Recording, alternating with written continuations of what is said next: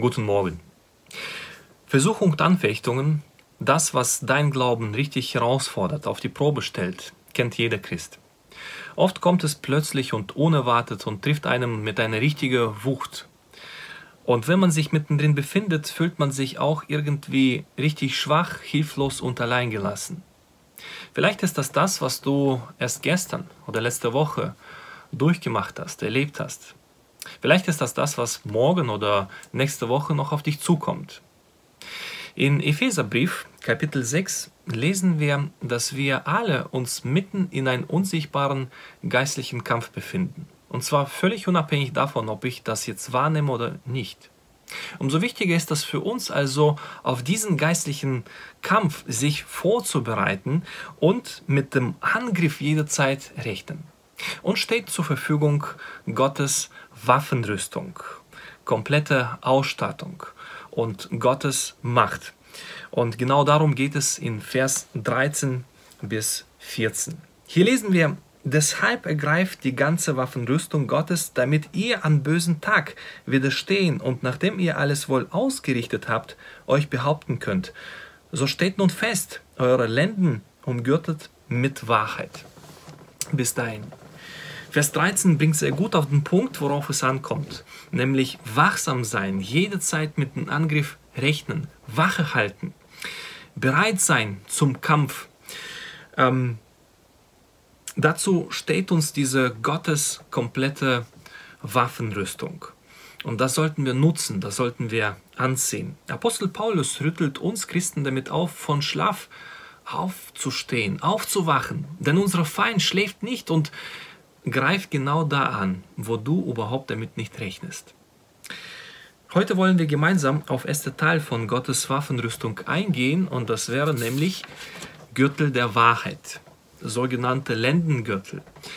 Der Lendengürtel trug damals römische Soldat, um erstens seine Waffen, wie zum Beispiel Schwert, darauf zu befestigen und zu tragen.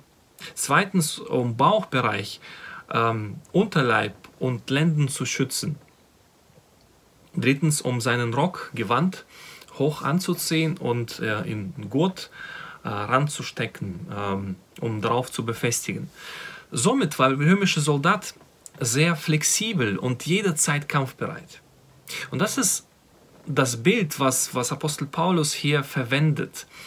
In übertragenem Sinne heißt das Gürtel der Wahrheit, der auf aufrichtiges Lebenswandel vor Gott hindeutet was so viel bedeutet, in Wahrheit feststehen, im Licht wandeln, mit Wahrheit alles prüfen und alles binden. Wir wissen an der Stelle, dass der Teufel Vater der Lüge ist. Und seine Waffen waren von Anfang an eigentlich dieselben. Das waren die Lügen und die Zweifel.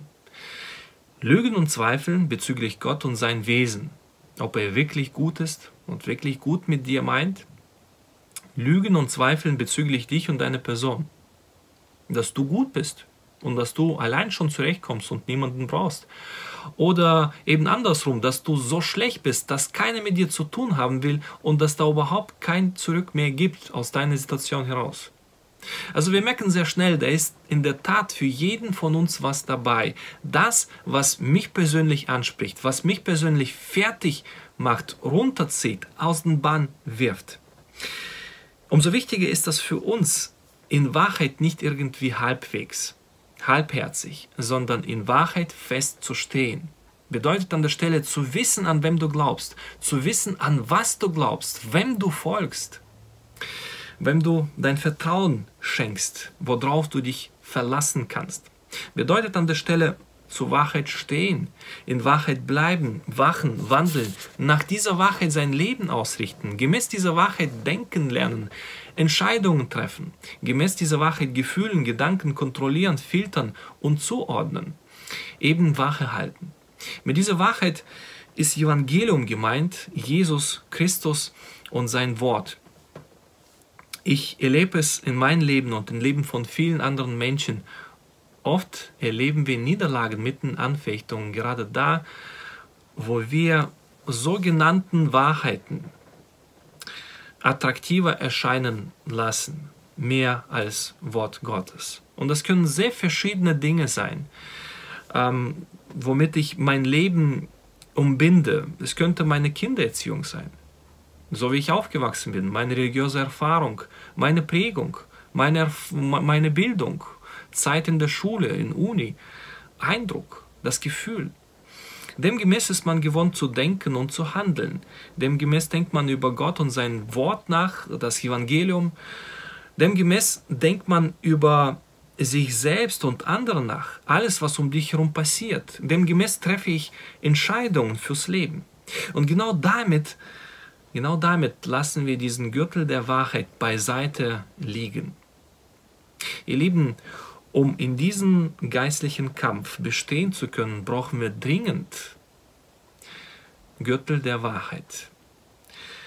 Mit Wort Gottes sollten wir alles zusammenbinden, sei es meine Kindererziehung, meine religiöse Erfahrung, Prägung, mein Denken, Fühlen, Hören, Lesen, Sehen, Empfinden. Alles soll diesem Wort Gottes, dem Jesus Christus, untertan sein. Nur dann bleibe ich bestehen. Nur dann hat das Hand und Fuß. Nur dann bleibe ich bewahrt. Natürlich fördert es Mut, Ausdauer, Glauben, Demut, Aufrichtigkeit, Einsicht, ständige Bußbereitschaft, Selbstverleugnung. Aber letztendlich führt das dich zur Freiheit von Lüge. Es kann so befreiend sein. Und das meinte Jesus Christus, als er sagte in Johannes Evangelium Kapitel 8, Vers 31 bis 32, wenn ihr in meinem Wort bleibt, seid ihr wirklich meine Jünger. Und ihr werdet die Wahrheit erkennen und die Wahrheit wird euch frei machen. Was für eine Verheißung. Wenn ich dennoch die Wahrheit Wort Gottes ignoriere, außer Acht lasse, ähm, diesem Wort Gottes mich nicht stelle, dann bitte ich eine Angriffsfläche den Teufel an. Wenn ich nicht in Lichte wandle, der Wahrheit gemäß lebe, so bin ich ziemlich leichte Beute für den Teufel, denn er hält ständige Ausschau nach der Beute, nach den Schwächeren. Bedeutet an der Stelle, ich kann mir überhaupt nicht erlauben, schwach zu sein, mir gehen zu lassen. In 1. Petrusbrief, Kapitel 5, Vers 8 lesen wir mehr davon. Seid nüchtern, besonnen und wacht, denn eure Widersacher, der Teufel, geht umher wie eine brüllende Löwe und sucht, wenn er verschlingen kann. In den letzten Jahren war christliche Welt immer wieder tief erschüttelt über Geschwister im Glauben, die tief gefallen sind. Sei es durch äh, Ehebruch, Geldveruntreuung, Irrglaube, bis hin zum Abfall von Glauben. Darunter auch namenhaften Christen, die viel im Reich Gottes bewirkt haben. So traurig das auch sein mag, aber das ist auch eben eine Warnung für jeden von uns, für dich und mich, dass ich und du sehr schnell der Nächste sein können, wenn wir nicht in Wahrheit feststehen. Wenn ich nicht mich auf dieses Wort verlasse, mein Leben danach ausrichte, wenn ich nicht in mein Leben aufräume. Deswegen will ich heute dir Mut machen.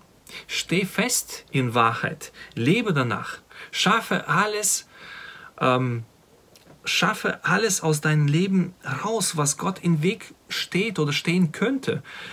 Räum auf, bitte keine Angriffsfläche den Teufel an, entlarve die Lügen, Entlarve die Überzeugungen, Herzenshaltungen, Grundhaltungen, Prinzipien, die dem Wort Gottes widerstehen, widersprechen, im Weg stehen. Denk bitte daran, dass in diesem Kampf grundsätzlich du nicht alleine bist, sondern Heiliger Geist ist bei dir und er führt und leitet dich und er greift dich unter die Arme, wenn du schwach bist, gerade da, wo du nicht mehr kannst. Du kannst und darfst dich mit Gottes Kraft und Macht mitrechnen, denn du verlässt dich nicht auf dich, nicht auf dein Können, nicht auf deine Erfahrung, sondern du verlässt dich auf Gott und sein Wort. Und auf Gottes Wort ist Verlass. Gott steht zu seinem Wort. Also nehmen wir Gott bei seinem Wort. Nutze Gott der Wahrheit. Amen.